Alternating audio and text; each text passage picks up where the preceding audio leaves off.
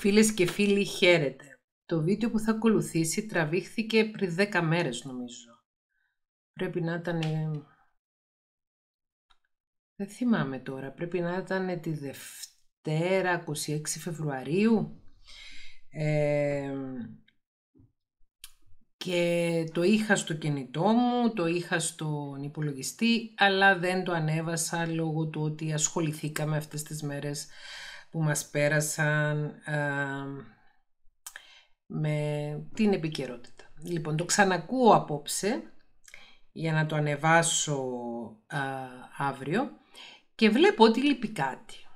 Τι λείπει; Το βίντεο που ακολουθεί είναι ένα βίντεο το οποίο ζητήθηκε από μία φίλη ε, σε ένα από τα σχόλια που λέει ποιες πρέπει να είναι οι κόκκινες γραμμές ποια πρέπει να είναι τα πράγματα τα οποία δεν θα διαπραγματευόμαστε καθόλου όταν κάνουμε μια νέα γνωριμία. Και θα σας το βάλω το βίντεο στη συνέχεια.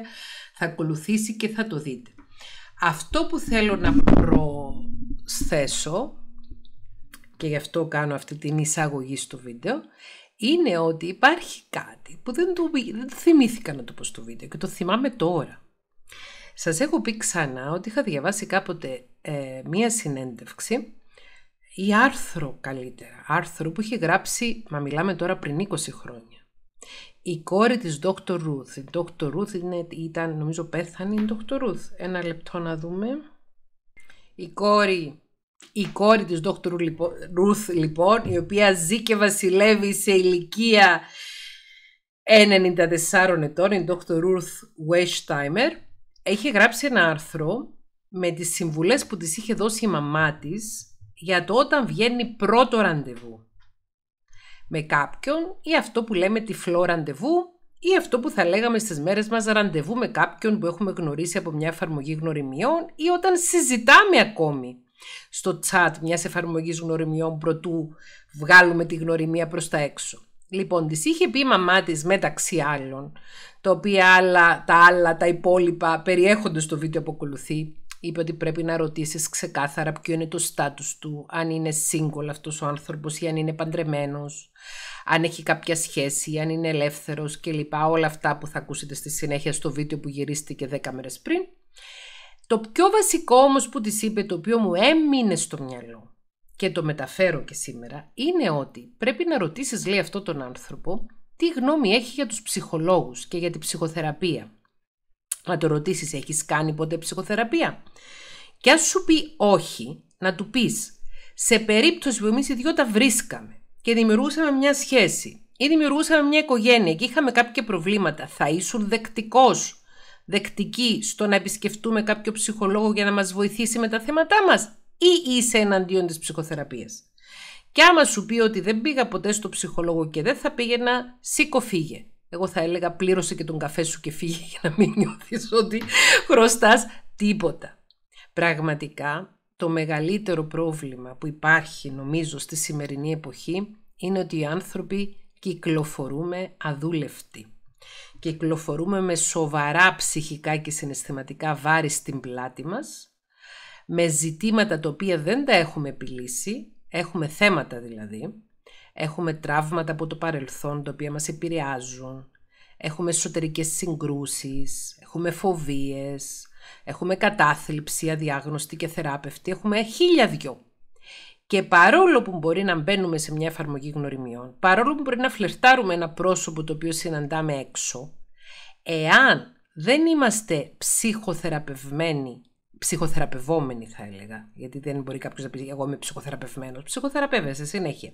Εάν δεν είμαστε ψυχοθεραπευόμενοι και ψυχοεκπαιδευόμενοι, δεν μπορούμε να συνδεθούμε ουσιαστικά. Οπότε ένας άνθρωπος ο οποίος βρίσκεται σε αυτό εδώ το κανάλι και παρακολουθεί αυτές εδώ τις, ε, τις συζητήσεις που κάνουμε, τις, τα vlogs, τα video blogs, τις αναρτήσεις με βίντεο και γενικά όλο αυτό το σκεπτικό που προωθούμε. Και είναι ο ίδιος ψυχοθεραπευόμενος και ψυχοεκπαιδευόμενος. Είναι καλή ιδέα να έχει ως κόκκινη γραμμή ότι εφόσον εγώ παραδέχομαι τα ζητήματά μου, παραδέχομαι τα λάθη μου, παραδέχομαι τα κομπλεξιλίκια μου, παραδέχομαι ότι έχω θέματα και πάω στο ψυχολόγο να τα φτιάξω. Πάω να κάνω ψυχοθεραπεία για να φέρω τον εαυτό μου σε μια κατάσταση που να είμαι πιο συνδέσιμος. Και ψυχοεκπαιδεύομαι, διαβάζω ψυχοεκπαιδευτικά βιβλία, παρακολουθώ ψυχοεκπαιδευτικά βίντεο και προσπαθώ να καλυτερεύω συνεχώς ως άνθρωπος, να καλυτερεύω τον, την προσωπικότητα μου, το χαρακτήρα μου, να βελτιώνω την προσωπικότητά μου, τότε δεν μπορώ να μπω σε μια σχέση με έναν άνθρωπο ο οποίος είναι κάθετα αντίθετος στην οποιαδήποτε ε, διαδικασία προσωπικής ανάπτυξης, ε, ψυχοεκπαίδευσης, ψυχοθεραπείας κτλ. Νομίζω ότι αυτό είναι πολύ βασικό. Μπορεί κάποιος να σας πει εγώ δεν έχω πάει ποτέ σε ψυχολόγο, δεν έχω παρακολουθήσει ψυχοεκπαιδευτικά βίντεο, αλλά είμαι ανοιχτός, είμαι ανοιχτή στο να παρακολουθήσω ψυχοεκπαιδευτικά βίντεο και ναι, ε, θα, θα πήγαινα στο ψυχολόγο.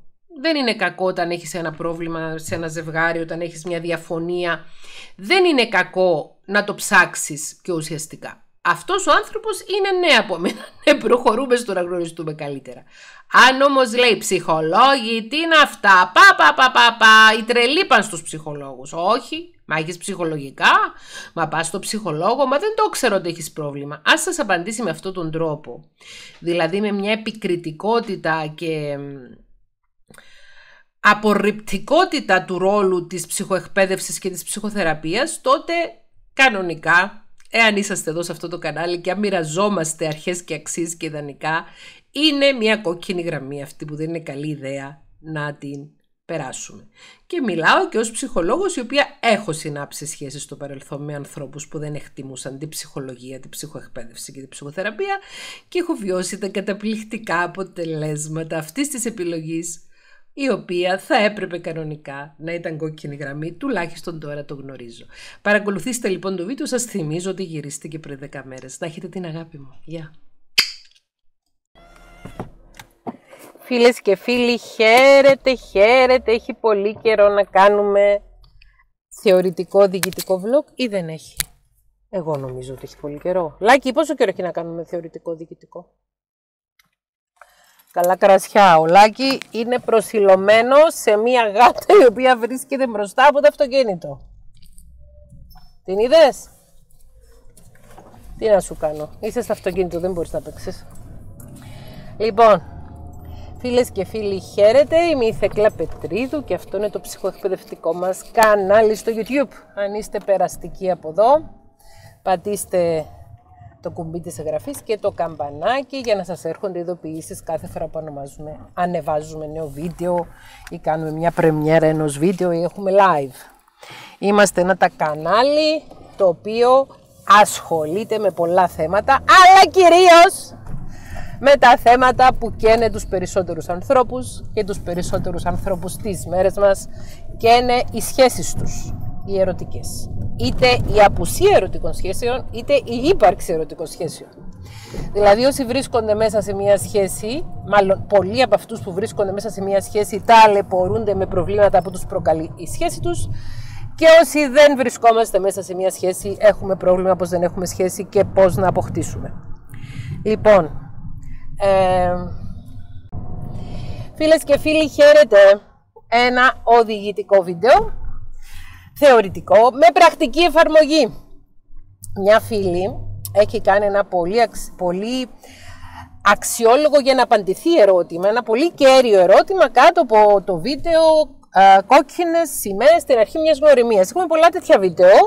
Αυτά θα μπουν στο, στο playlist πώς χειρίζομαι μια νέα γνωριμία, φλερτ κλπ. Και αυτό φυσικά. Λοιπόν, είμαι η Θέκλα Πετρίδου, ψυχολόγος, ψυχοεκπαιδεύτρια. Αυτό είναι το ψυχοεκπαιδευτικό μας κανάλι στο YouTube, αν είσαστε περαστικοί.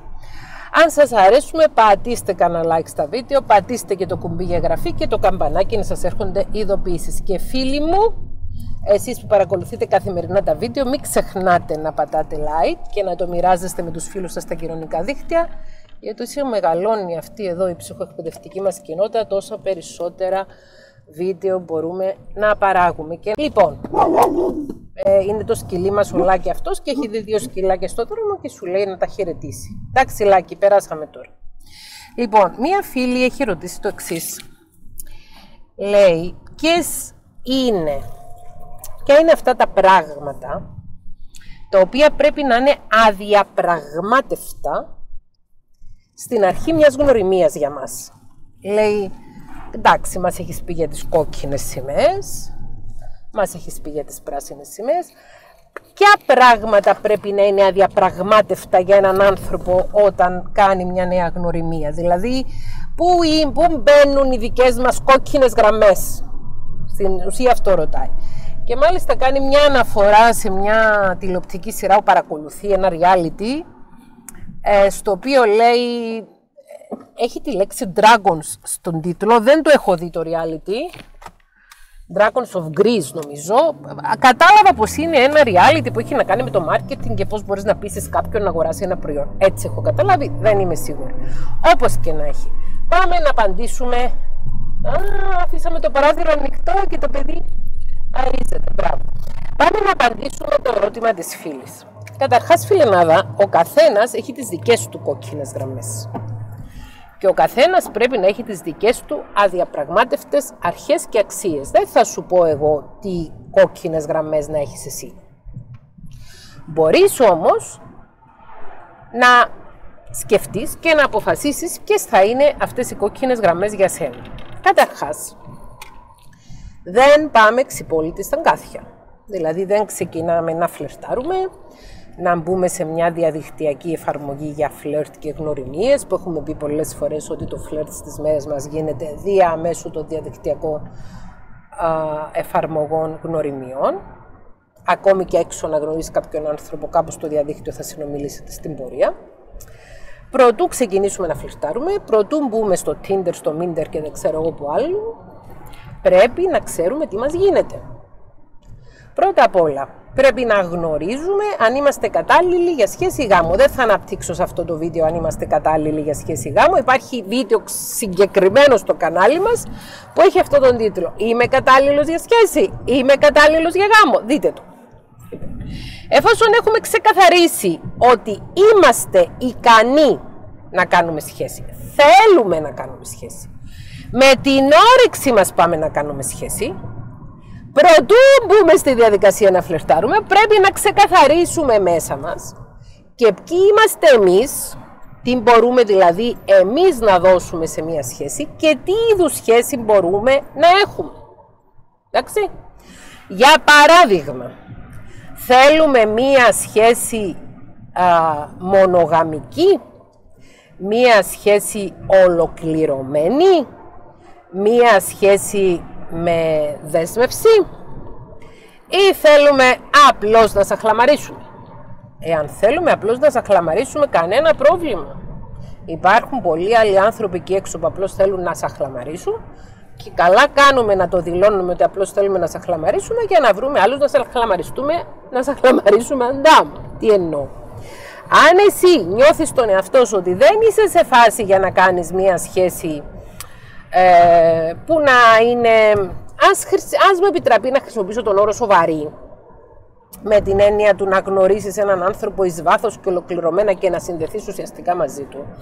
Και είσαι σε μια φάση που το μόνο που θες είναι ένα σεξουαλικό ξέδωμα, γράψτε το στο προφίλ σου, ξεκαθάρισε το στη συνάντησή σου, στη συνομιλία σου, ότι ε, για παράδειγμα δουλεύω πολλές ώρες και δεν έχω χρόνο να ε, αφιερώσω σε μια γνωριμία περισσότερο εις βάθος, αυτό που θα με ενδιέφερε θα ήταν μια καλή γνωριμία με καλή σεξουαλική επαφή. Αυτό μπορώ να δώσω, αυτό μπορώ να πάρω, δεν μπορώ να δώσω κάτι περισσότερο, δεν θέλω να πάρω κάτι περισσότερο.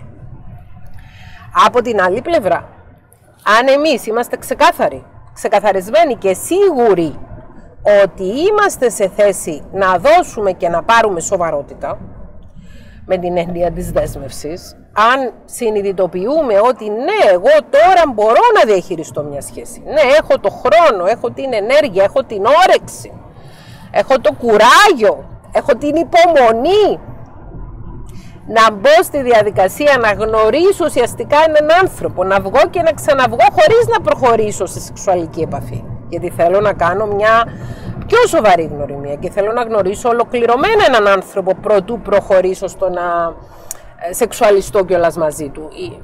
Αν εγώ είμαι σίγουρη, σίγουρος ότι είμαι σε αυτή τη φάση, το έχω ως κόκκινη γραμμή και για μένα, αλλά και ως κόκκινη γραμμή και για τον άλλον. Δηλαδή, αν εγώ τώρα πες είμαι ο Α και έρχομαι εγώ Α και λέω κοιτάξτε εγώ τώρα έχω όλο τον χρόνο και όλη την ενέργεια και έχω όλη την όρεξη και όλη την υπομονή και όλη τη διάθεση να αντέξω το dating. Και είμαι σε θέση να μπω σε μια διαδικασία, να αρχίσω να μιλάω με έναν άνθρωπο, να ξαναμιλάω, να μιλάω στα τηλέφωνα, να πάω για καφέ, να πάω για φαγητό, να πάω για παγωτό, ξέρω εγώ γιατί θα πάω, να βγω έξω, να μιλήσω, να κάνω. Και αν μετά από ένα ικανό χρονικό διάστημα και αρκετές συναντήσεις καταλήξουμε στο ότι πραγματικά γοητευόμαστε ο ένας από τον άλλον και ταιριάζουμε και θέλουμε να γνωριστούμε καλύτερα και υπάρχει και έλξη, τότε προχωρούμε to consummate πλέον Ιγγλέζοι, να ολοκληρώσουμε σεξουαλικά και τη σχέση μας και το πάμε για σχέση. Είσαι σε θέση να πας για σχέση; Έχεις όρεξη να πας για σχέση; Εάν δεν είσαι σε θέση να πας για σχέση, εάν δεν έχεις όρεξη να πας να μπεις σε αυτή τη διαδικασία, εάν δεν αντέχεις την επικοινωνία με άλλους ανθρώπους, εάν δεν ανέχεσαι πράγματα, γιατί είναι μια κοπιώδης διαδικασία το dating. Δεν είναι εύκολο πράγμα. Είπαμε, είναι παιχνίδι για παίχτες με γερά νεύρα το dating. Ναι, Μπορεί εύκολα να απογοητευτείς, μπορεί να νιώσεις ματέωση, μπορεί να δημιουργήσεις κάποιες προσδοκίες, να βγεις με έναν άνθρωπο να μιλήσεις για ένα άρθα χρονικό διάστημα και μετά να σου πει άλλος: Ξέρεις, κουκλά, κουκλάκι μου, κουκλάρα μου, κούκλε μου.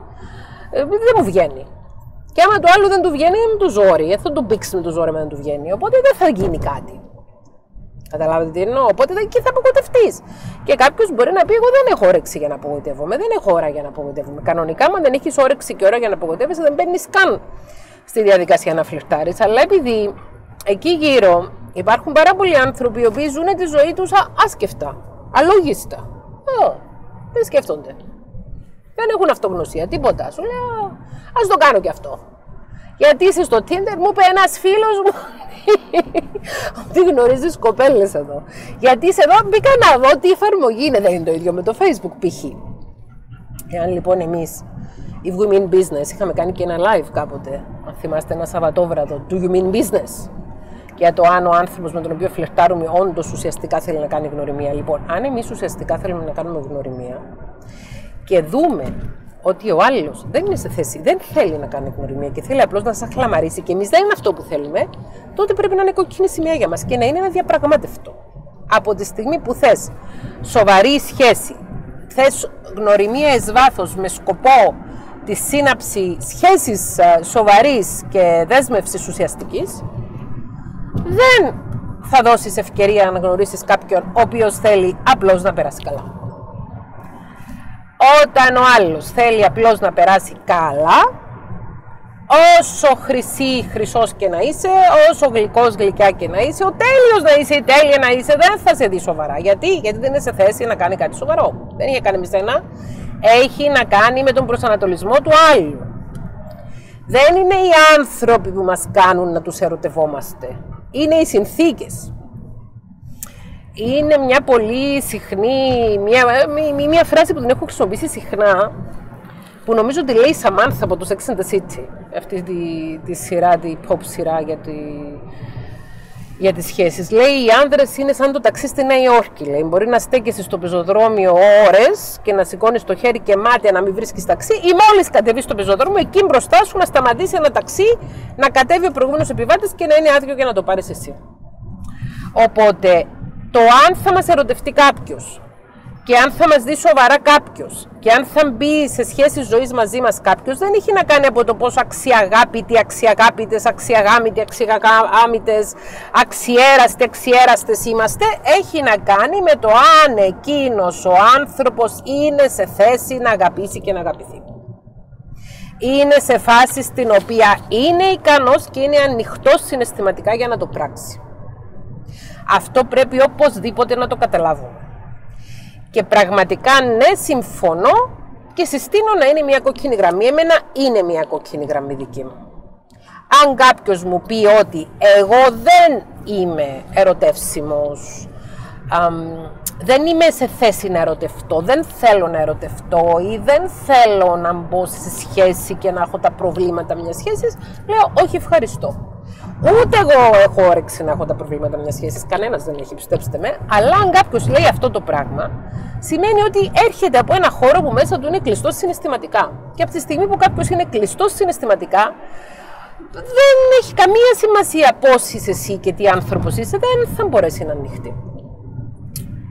Ακόμη και αν νομίζει πως σε ερωτευτεί και ακόμη και αν συναντηθείτε μερικές φορές και ακόμη και αν ζήσετε ένα πάθος, δεν, δεν, θα μετατραπεί σε αγάπη, δεν θα μετατραπεί σε κάτι μακροχρόνιο και σε κάτι που να χορταίνει την ψυχή, να ξεδιψαίνει την ψυχή που είναι διψασμένη για ερωτικότητα και συντροφικότητα. Όχι, γιατί θα είναι κλειστός συναισθηματικά αυτός ο άνθρωπος. Άρα, αν εμείς είμαστε ανοιχτοί συναισθηματικά, τότε πρέπει να είμαστε ξεκάθαροι ότι θέλουμε να συναντιόμαστε μόνο με ανθρώπους που είναι επίσης ανοιχτοί συναισθηματικά. Πώς μπορούμε να καταλάβουμε αν κάποιος είναι ανοιχτός συναισθηματικά, το ρωτάμε ξεκάθαρα. Τι είδους σχέση θες; Να σου πει ποιος σου είπε για σχέση; Τώρα ήρθες ε, και ακόμη γεια σου δεν είπαμε και μιλάς για σχέσεις; Unmatch. Αμέσως. Σταματήστε να μιλάτε. Εντάξει, ευχαριστώ. OK. Okay.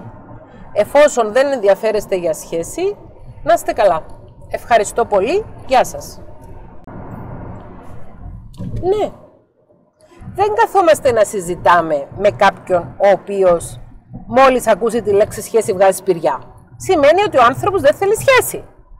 Οπότε αν εμείς θέλουμε σχέση, ναι, εκεί είναι κόκκινη σημαία και κάνουμε unmatch. Unmatch σημαίνει σταμα... ε, σταματούμε το ματσάρισμα, ρε παιδί μου, ε, ε, ή μπλοκάρουμε τον άλλον, ή λέμε γεια σας, ευχαριστώ, δεν θα πάρω, όχι ευχαριστώ, δεν θα πάρω. Είναι εντάξει κάποιος να μην θέλει σχέση. Επίσης, δεν είναι καλή ιδέα να ανεχόμαστε τον οποιονδήποτε να μας κοροϊδεύει ότι μα τι ζητάς γάμα και νομίζεις ότι είσαι και όλοι θέλετε να τυλίξετε κάποιον και όλοι θέλετε να κάνετε το ένα και το άλλο και δεν ξέρω εγώ τι. Ε, όχι. Αν σας κοροϊδεύει ο άλλος και σας κάνει να νιώθετε άσχημα για το ότι έχετε σοβαρές προθέσεις, για τον, γιατί τι προθέσεις δεν τις έχετε για τον άλλο, για τον εαυτό σας τις έχετε τις προθέσεις. Για τον εαυτό μου έχω πρόθεση να κάνω κάτι σοβαρό. Τον εαυτό μου βλέπω σοβαρά, δεν είναι σε σένα που βλέπω σοβαρά. Εσένα δεν σε ξέρω ακόμη. Εσένα σου μιλάω για πρώτη φορά. Ε, με σένα κάναμε απλώς ένα μάτσο και είπαμε ένα γεια. Δεν ξέρω ποιος είσαι, ποια είσαι, δεν ξέρω τι ποιότητα έχεις. Εμένα ξέρω. Αν εγώ είμαι σε θέση να κάνω σοβαρή σχέση, σημαίνει ότι παίρνω εγώ προσωπικά τον εαυτό μου στα σοβαρά. Και επειδή παίρνω τον εαυτό μου στα σοβαρά, αυτό δεν σημαίνει ότι είμαι κανένας άνθρωπος ε, στερημένος ή κανένας άνθρωπος ο οποίος θέλει αμέτη Μουχαμέτη τώρα να παντρευτεί ή να συγκατοικήσει ή να κάνει μια σοβαρή σχέση; Όχι. Αν ο άλλος μας κοροϊδεύει, σημαίνει ότι δεν έχει σκοπό να κάνει σοβαρή σχέση. Επίσης, μια άλλη κόκκινη γραμμή, κατά τη γνώμη μου, πρέπει να είναι το negging.